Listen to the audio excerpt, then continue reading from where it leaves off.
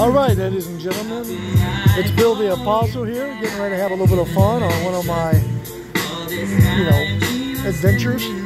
Uh, this is the Frozen Waters. I am here at Lake Ozark at the um, Regalia Hotel.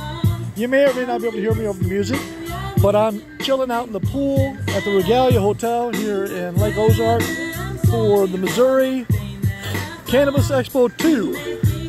Um, as you may know, I'm a proponent for Missouri medical marijuana and hopefully the legalization of all, as I believe that this is a gift of God given to us.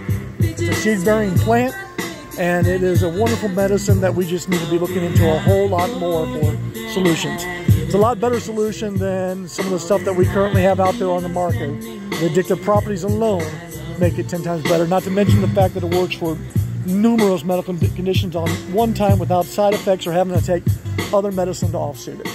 Um, I will have a good talk on that probably sometime this weekend, um, and I will be taping it. I've signed up to give a talk on it this weekend here at the symposium, and we'll see if they actually need me to or not.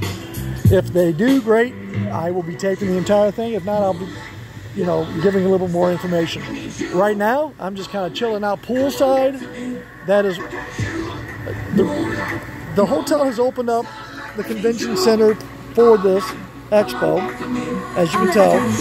And they're going to have music tonight and tomorrow, all poolside. It's a 100% free conference. Um, of course, if you can, stay, stay at the hotel if you get a chance. Support them as they're supporting this conference. All right, guys, I'm signing off for now. I'll be back on probably a lot, maybe even do some lives later on tonight.